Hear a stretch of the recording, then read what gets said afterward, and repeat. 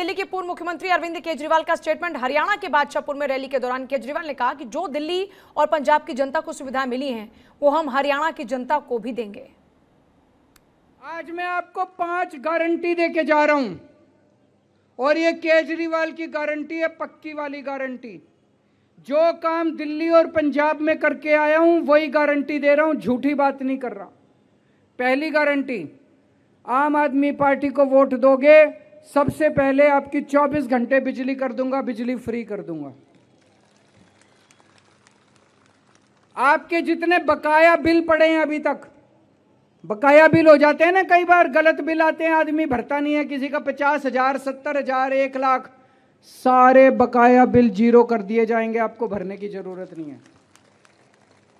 दूसरी गारंटी, जैसे दिल्ली के सरकारी स्कूल शानदार बनाए आपके बच्चों के भी सरकारी स्कूल शानदार बनाएँगे, आपके बच्चों को अच्छी शिक्षा देंगे, मुफ़्त शिक्षा देंगे। तीसरी गारंटी, शानदार सरकारी अस्पताल बनाएँगे, जो अभी बीरू सरपंच जी कह रहे थे, यहाँ पे केवल एक ही अस्पताल है, शानदार सरकारी अस्पताल बनाएँगे, सारा इलाज मुफ़्त करेंगे, जैसे दिल्ली में किया, आपके लिए सारा इलाज मुफ़्त करेंगे। चौथी गारंटी आपके बच्चों के लिए रोज़गार का इंतज़ाम करूँगा, जैसे दिल्ली और पंजाब में किया है। पंजाब में छियालीस हज़ार नौकरियाँ अभी दे, दी हमने, सरकारी नौकरियाँ, कोई रिश्वत नहीं, कोई सिफारिश नहीं, और तीन लाख के करीब प्राइवेट के अंदर नौकरियों का इंतज़ाम किया है।